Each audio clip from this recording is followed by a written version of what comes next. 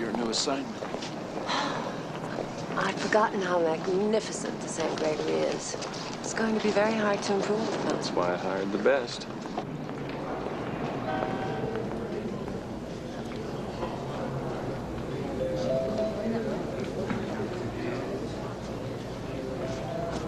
It's marvelous. It's so 40s. It's really going to be a challenge. Oh, Miss Sloan's room's ready? Yes, sir. Miss Sloan is in the Versailles suite. We hope you'll find your stay comfortable. Thank you. I'm sure I will. Welcome back, sir. Thanks. Welcome home.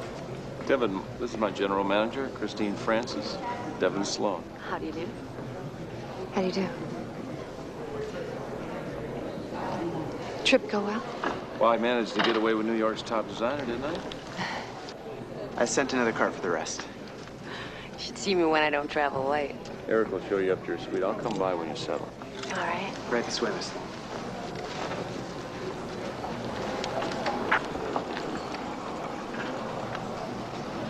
Well, it's good to have you back. Thanks. We we have a lot to talk about. Why don't you brief me on the way up?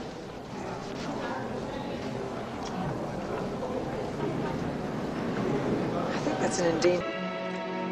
Do you have to go so soon? I think it's best, don't you? Clean, quick break. It hurts for a moment, but uh, I think it's better in the long run.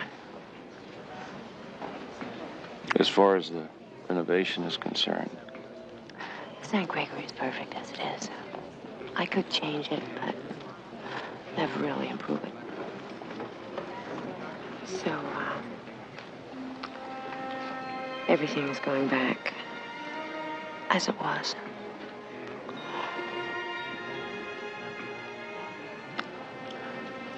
Let's call it talk. Maybe in Rome. Mr. McDermott, I think you better come quick. what is it? This way.